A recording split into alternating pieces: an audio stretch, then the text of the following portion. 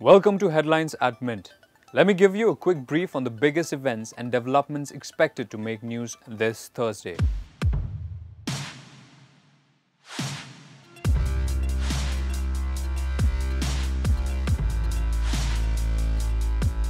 Almost two weeks after 16 legislators resigned from the Karnataka Assembly, the Congress JDS coalition will face a floor test on Thursday. This comes a day after the Supreme Court passed an interim order on the petitions of a few of the rebel leaders seeking direction to the Speaker to accept their resignations.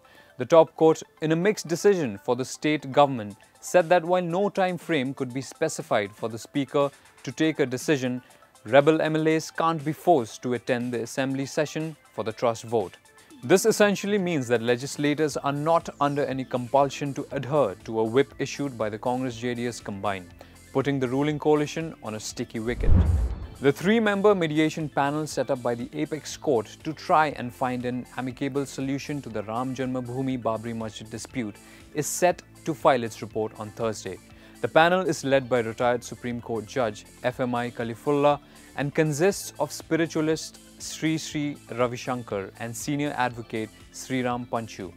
The top court will then decide whether to begin daily hearings in case the panel didn't make adequate headway. The mediation team was set up in March this year and granted an extension in May. The government will launch the sixth tranche of exchange traded fund of central public sector enterprises on Thursday.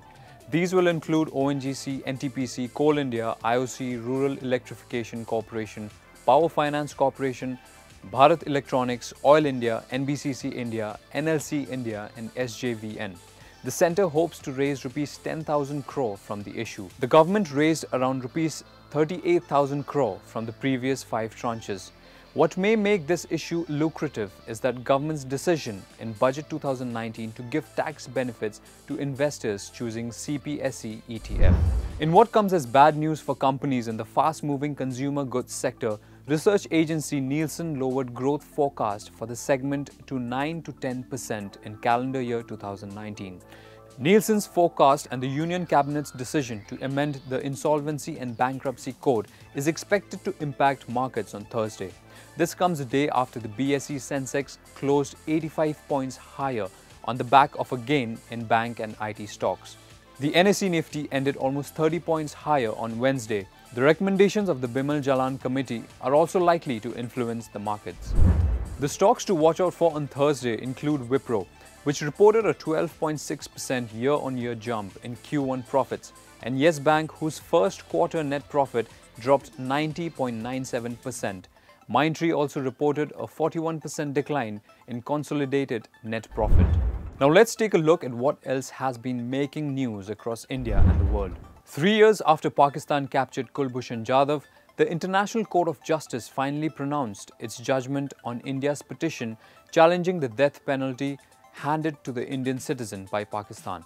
The World Court, situated in The Hague in the Netherlands, ordered a stay on Jadhav's execution by Pakistan and ordered that India be allowed consular access. Prime Minister Narendra Modi, commenting on the verdict, said that truth and justice had prevailed.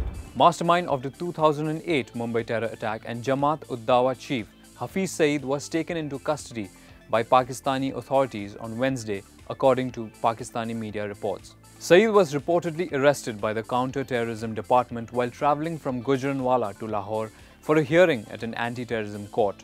The arrest comes just two days after the designated global terrorist and his aides secured bail in connection with a case of alleged illegal use of land for a seminary. Pakistani authorities had also announced filing of terror financing cases against Saeed, a move described as a cosmetic step by the Indian government. The Union Cabinet on Wednesday cleared seven amendments to one of Modi government's biggest reforms in the corporate sector, the Insolvency and Bankruptcy Code. The government will now seek Parliament's approval for the amendments. These include an increase in the time frame for bankruptcy resolution from the current 270 days to 330 days. The suggested alteration also clarify the rights of financial and operational creditors who opposes a rescue plan. The proposal is to pay them as per the hierarchy specified in the code. The panel set up by the Reserve Bank of India to review the central bank's economic capital framework held its last meeting on Wednesday. The panel, headed by former RBI Governor Bimal Jalan has decided to recommend transfer of excess reserves to a government in a staggered manner over a period of 3 to 5 years based on a predetermined formula. The 2019 Brand Finance India 100 report has named Tata as India's most valuable brand ahead of the government-owned Life Insurance Corporation of India.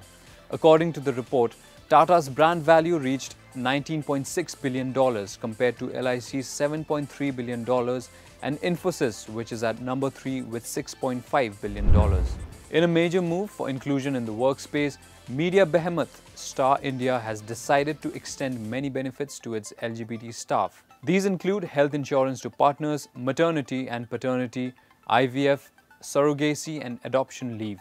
With this decision, Star joins the ranks of companies like Godrej Group, Accenture and IBM which gave health cover to same-sex partners of employees. In September 2018, the Supreme Court had decriminalized consensual homosexual intercourse. That's all for now. Stay tuned tomorrow for Friday's edition of Headlines at Mint.